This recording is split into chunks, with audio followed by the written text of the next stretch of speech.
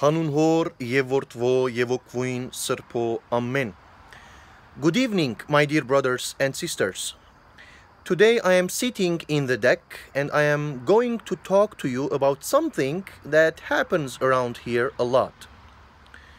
So every time we come outside of our home and we sit in the nature, we have this little backyard here. We notice couple of rabbits that come and try to eat the grass. But every time that they notice us, they try to escape.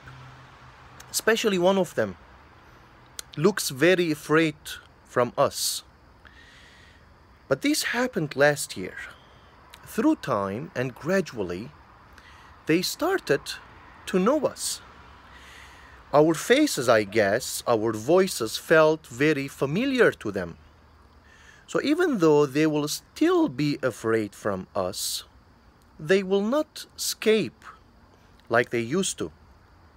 But rather, they will wait, they will make sure that there is no threat against their lives, and then they will continue to have their supper, their lunch, or even their breakfast.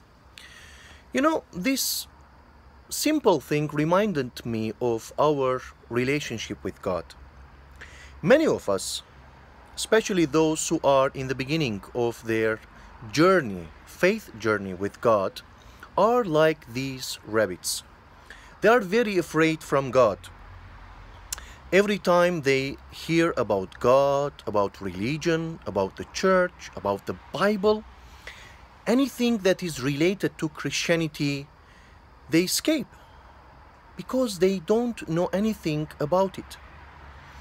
Others have very wrong idea about Christianity about our faith. They think that our God is this angry person who is waiting for them to do something so that he can immediately punish them. Others think that Christianity is about commandments and rules and regulations. Do this and do that. And if you miss something, then you will not inherit the kingdom of God, the kingdom of heaven. But in fact, my dear brothers and sisters, God is a loving Father and He wants to have a relationship with us. So we are invited to be like the rabbits that after knowing us, after having this relationship with us, through time by listening to our voices, by seeing our faces, by recognizing our presence, are here, are not afraid, and they can freely go around this place, get their food, and in their mind they are very much assured that no wrong thing is going to happen to them. We have to be the same in our relationship with God, my dears. God wants to have this relationship with us.